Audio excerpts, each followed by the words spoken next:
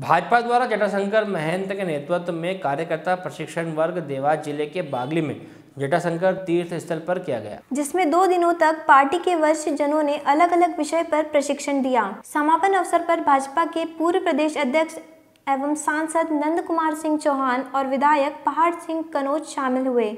Press वार्ता में पत्रकारों द्वारा देश में बढ़ रही महँगाई के प्रश्न पर नंद कुमार सिंह चौहान ने सरकार का बचाव करते हुए कहा कि अंतर्राष्ट्रीय बाजारों में मूल्य वृद्धि के कारण पेट्रोल, डीजल के दाम बढ़े हैं। प्रदेश में लगातार बढ़ाए जा रहे टैक्स पर चौहान ने कहा कि मध्य प्रदेश में आय का स्रोत टैक्स है, इसलिए सरकार को टैक्स बढ़ाने पड़े बागली से रवि पाटीदार की रिपोर्ट। उसके एवज में हम तेरे को ये अब सोचो नंद कुमार सिंह चौहान या विनय बड़ोला या बोथरा जी और निश्चित रूप से इस प्रशिक्षण के माध्यम से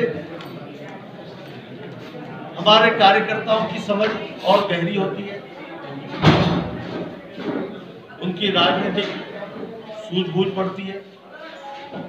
जिस क्षेत्र में वो काम कर रहे हैं, उस फ़ील्ड में वो अपडेट होकर और अच्छे से काम करेंगे पेट्रोल और डीजल के दाम बढ़ने पर आज वो रो रहे हैं।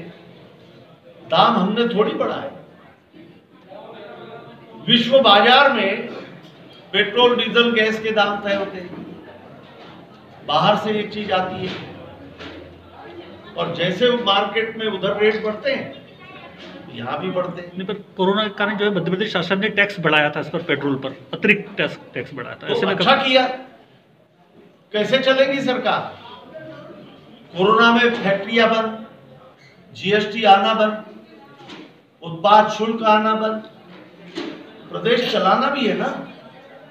तो जहाँ से आय हो सकती है वहाँ पर कर लगाया गया लेकिन लगाने के बाद दिया कितना? इस इसके बारे में कांग्रेस नहीं बोली क्योंकि कांग्रेस ने तो धन्यवाद प्रस्ताव पारित करना चाहिए। प्रधानमंत्री हेलो फ्रेंड्स आप देख रहे हैं हमारा channel S W twenty four news हमारे सारे वीडियो सबसे पहले देखने के लिए आप हमारे चैनल को सब्सक्राइब करें और पास में लगे बेल आइकन को दबाना बिल्कुल भी ना भूलें।